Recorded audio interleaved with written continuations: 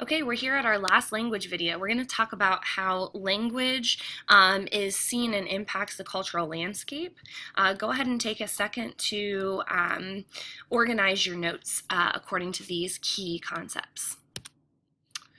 The first thing we're going to talk about is how do languages vary among places. Um, and we're going to talk about the national scale first and talk about um, official language. This is the language used by a government for all of its interactions. So I've got examples here of where an official language have, has to be used.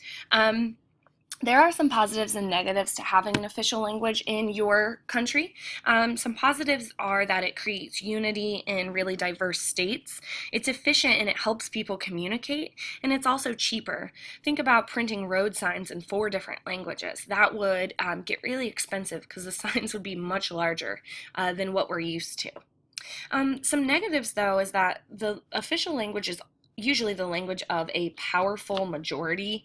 And so it oftentimes works to um, isolate or marginalize or endanger um, other languages. So you can see here, um, I've got two maps uh, to show you where um, some official languages are distributed. And so um, the top map is where English is distributed as an official language, and the bottom is um, where French is.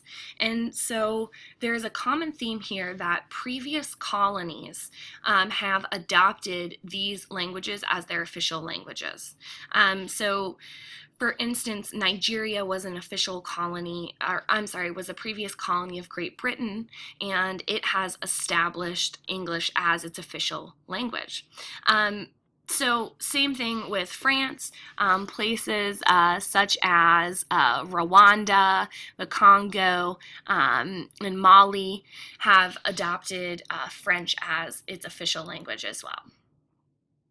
There are some countries with multiple official languages. There can be more than one. Uh, places like Israel have Arabic and Hebrew as their official language. Canada has French and um, English. And the Netherlands and South Africa actually have multiple official languages. So another way to think about how languages vary among places is um, the standard language.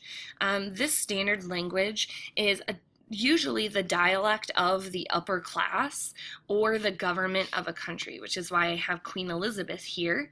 Um, and it's usually um, disseminated um, through the government, schools, and the media.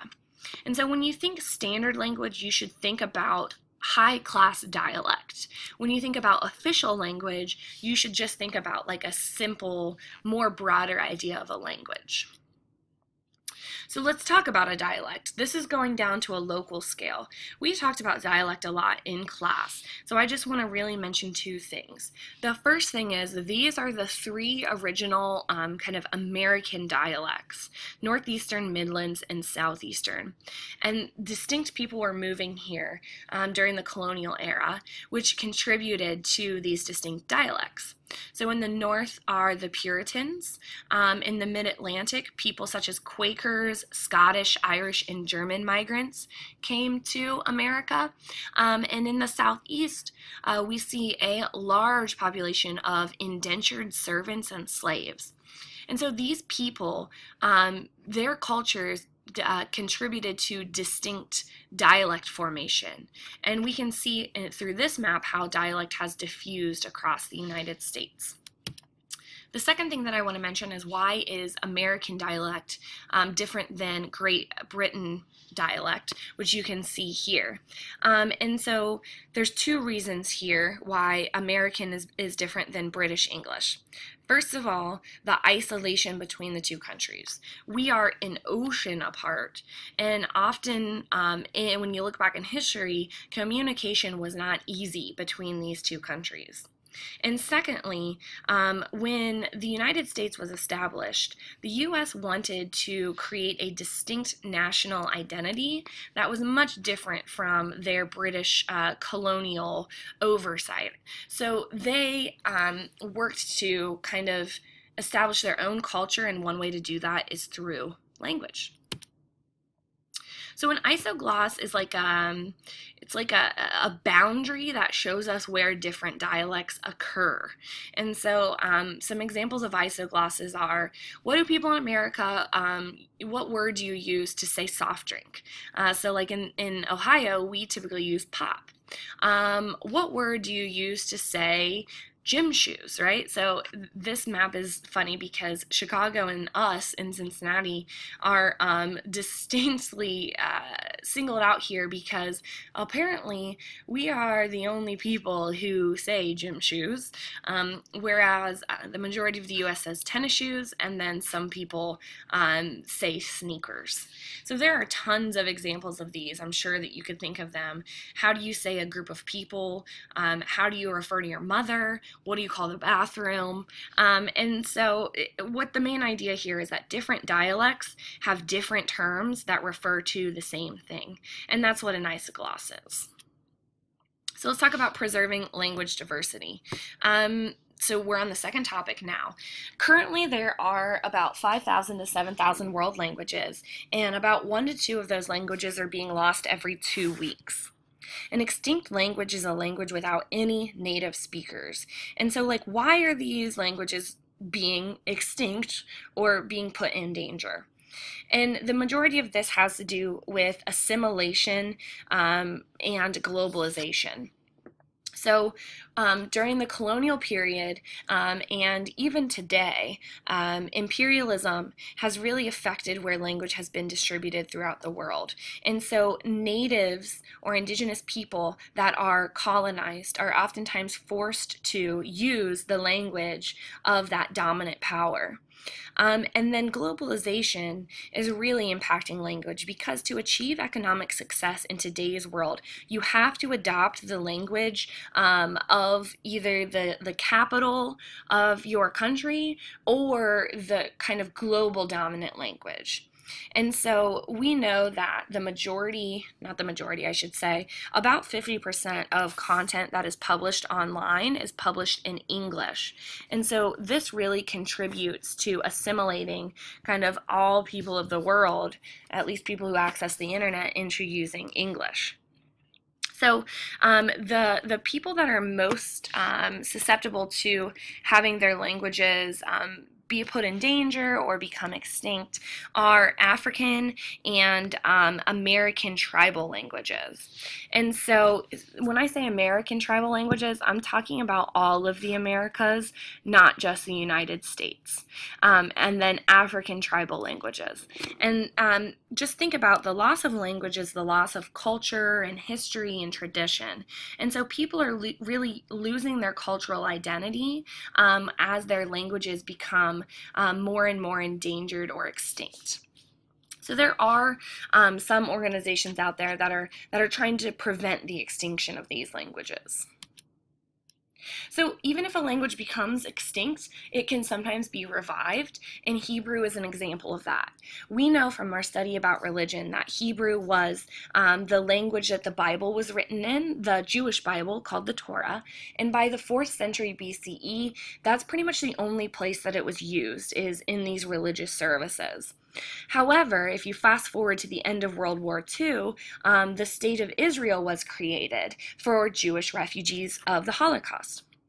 And so, in an attempt to promote um, some sort of unifying Jewish culture, um, the leaders of the establishment of Israel decided to create um, an official language of Hebrew um, in Israel.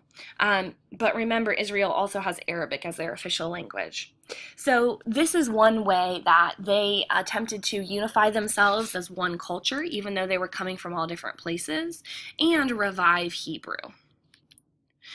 Um, so there are isolated languages that are preserved um, in our world, um, and an example of that is um, the Basque language, which I'm not going to talk about because you read extensively about that in your 6.3 reading. Um, but what I do want to talk about is Icelandic. So, first of all, an isolated language is a language without a family. And um, Icelandic is an example of an isolated language because it is so distinctly different from its original family. So um, it has changed less than any other language family um, and any other language in the Germanic branch. So there's also been a recently uh, discovered language in India that doesn't fit into a language group either. So now we're going to talk about some examples of these multilingual states in how they affect preserving language diversity. So Belgium is a really good example of um, the conflict that arises when different languages are put into one state. So in the north, you have uh, people who speak Flemish, which is a Dutch dialect, and in the south, you have people who speak French. And so there's been a struggle for power um, between these two distinct groups of people since the 1800s. And historically, uh, the the Walloons living in Wallonia have dominated the economy and the politics. So by 1960, the the state of Belgium was um, split in half. Really, it was divided into two independent regions. Um, this was in the 1960s, and and this is where we get this modern day map. Um, so in the present, um, the the Wallonia is is not doing as well as Flanders. Um, there's about 14% unemployment there. So, an example of conflict. Um, Quebec and uh, Canada being a multilingual state is also another example of conflict that I'm not going to talk about in this lecture because we talked about it in class. Um, but an example of how a multilingual state can be successful is Switzerland. Switzerland has four official languages, and these people have peacefully coexisted for years and years and years. And part of this is because um, there's a high degree of localized control um, instead of a federal system of control. And what I'd like to point out is that even though um, the Ro- people are only 1% of the population, the Swiss government recognizes them as an official distinct language. Nigeria is another example that was discussed in your reading 6.3, so I'm not going to go in depth here, um, but you do need to know that it is another example of how a multilingual state creates a lot of conflict between the people, um, and sometimes, uh, like such as this instance, um, English is adopted as the official language to kind of try to stop some of the conflict between the opposing language groups.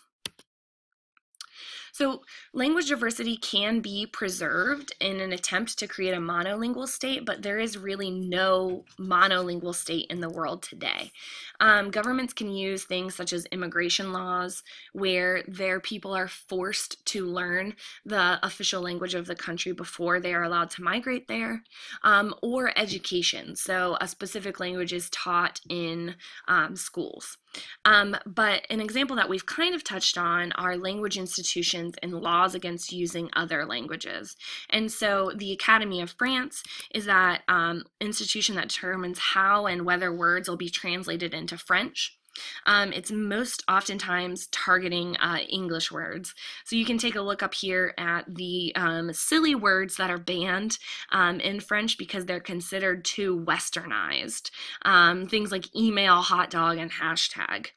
Um, and so there are also fines that can be given or laws against using other languages um, to preserve a language. So um, in France, at least 40% of music and TV has to be broadcast in French. Um, and in Quebec, um, if your business cannot operate in French, you are fined. So, lastly, let's talk about the global dominance of English. So, English is considered the global or the world lingua franca. Um, and this is a language used among speakers of different languages for the purpose of communication, trade, and commerce. And so, if you are a pilot or an air traffic controller, no matter where you are in the world, you are required to speak in English at your job. Um, and so, this is just a way to um, help people's interactions with each other. The lingua franca of East Africa is Swahili, and Southeast Asia is Mandarin. And a pidgin language is kind of like a very, very simplified version of that lingua franca. Um, and some examples are Spanglish and Cajun. Um, and then lastly, uh, we have a Creole. Um, and this is a pidgin language that develops a more complex structure in vocabulary. And it is the native language of a group of people. So this is frequently developed in colonial settings where linguistic um, traditions of indigenous people and colonizers blend. And so Pidgin French actually became Haitian Creole, which is the official language in Haiti.